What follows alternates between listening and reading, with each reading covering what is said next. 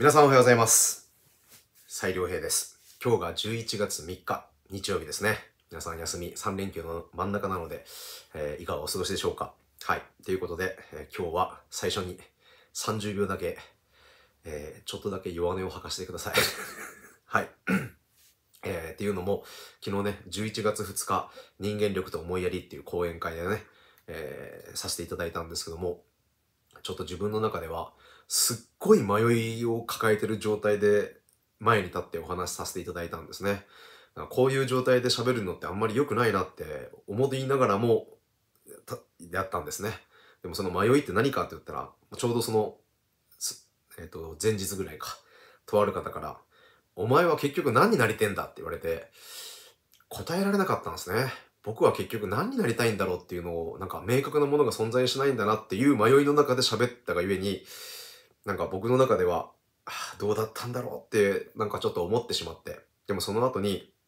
サイン会をさせていただいた時に、結構たくさんの方たちから、YouTube 見て救われましたっていう言葉をいただいたんですね。実はね、その言葉に僕が救われてるんです。本当にありがとうございました。あの、終わった時が一番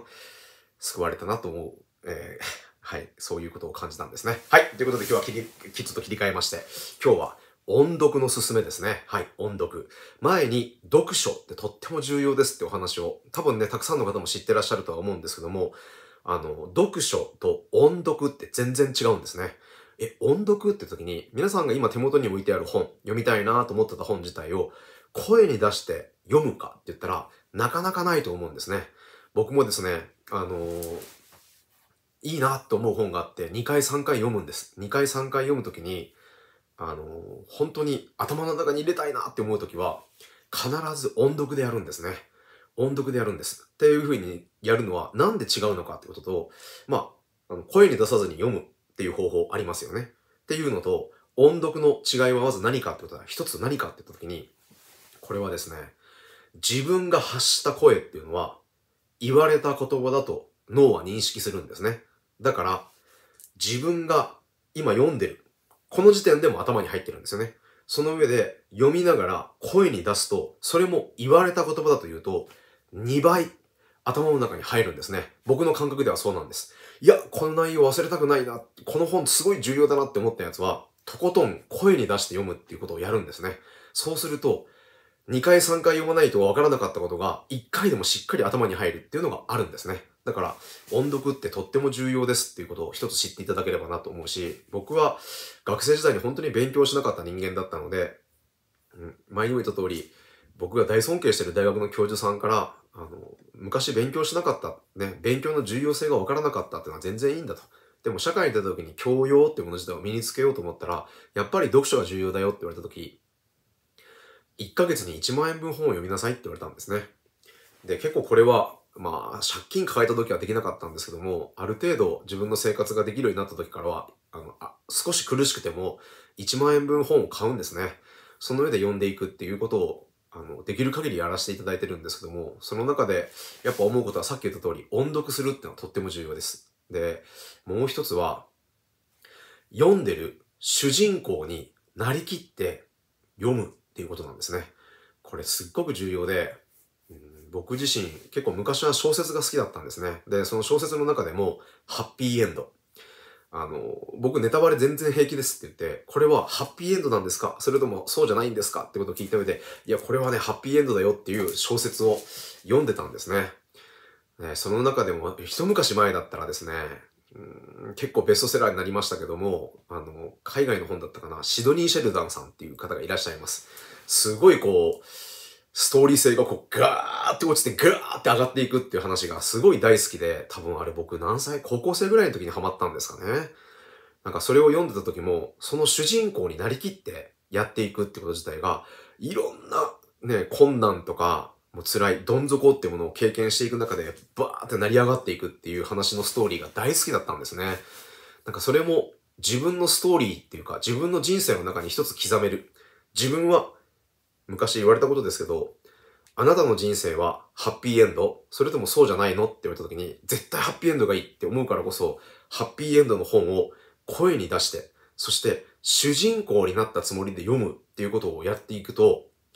限りなく自分の人生自体もそれに近づいていくんじゃないかっていうことを僕の中ではちょっと思ってて。なので、もし読書、新しい知識や教養を学んでいくこともとっても重要です。その上で、私は自分の人生を変えていきたい。そして自分の人生をもっとこういう風にしていきたいっていうストーリー性のあるものを自分が目指すハッピーエンドがそこに存在してるんであるならば、そこにあった本を自分が声に出して読んでみるっていうことで近づいてくるんですね。これ言霊っていうのも宿っていくと思います。で、声に出すからこそ言われてると思うし、言われてるからこそ2倍入るし、そして声に出すことで音玉が自分の味方についていくっていうことから、自分がなりたかったなって思ってる人生に対して、どんどんどんどん近づいていくっていうことに繋がってるんじゃないかなっていうのが今までの僕の経験上で思うことなんですね。なのでちょっと読書の秋、もう少ししたら秋は終わりますけども、少し工夫を加えて、あ、声に出して読んでみるってなかなかないなって思った時に、声に出して読む。そして絶対覚えてほしいことは、棒読みじゃなくて、感情を込めて、その本人になってみて読んでみるっていう風になってくると、自分の人生に対して大きなきっかけっていうもの自体を与えてくれる、そんなね、あの、チャンスになると思います。で、僕は、あの、その重要性に気づかされたのは、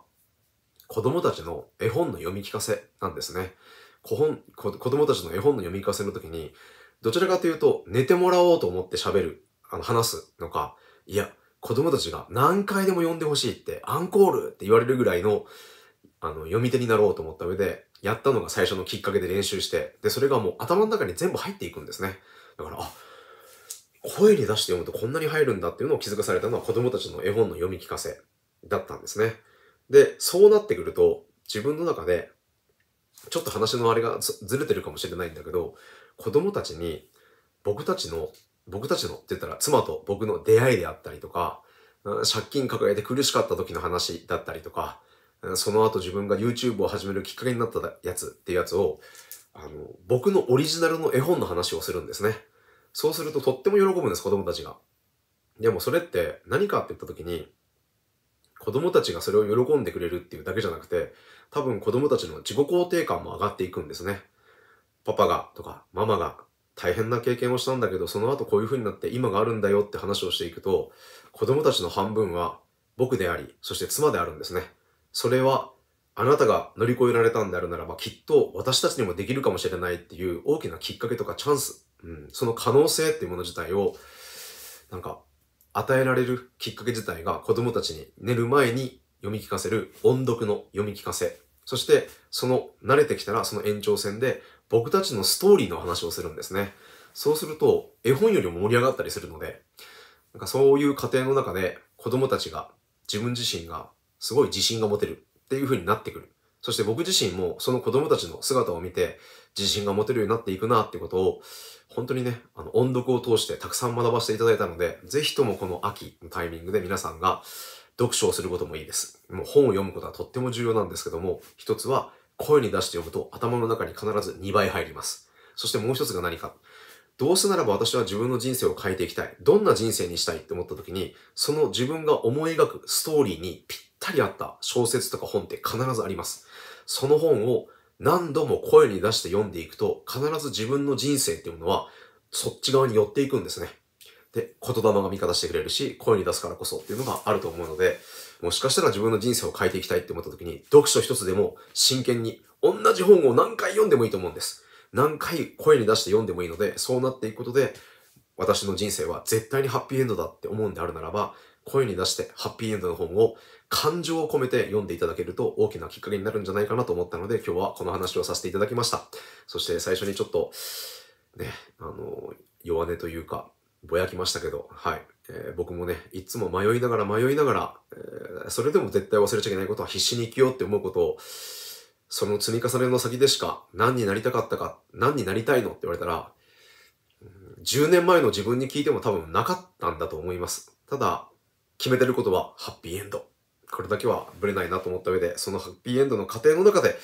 何になりたいのかってことをもう少ししっかり、えー、落ち着いてね、考えていこうと思いますっていうことですね。はい。最初にちょっとだけぼやきましたけどすいません。あのお話聞いてくれてありがとうございます。はい。ということで今日も元気よく皆さんをガッツポーズで見送っていこうと思います。では行きます。いきません。せーの。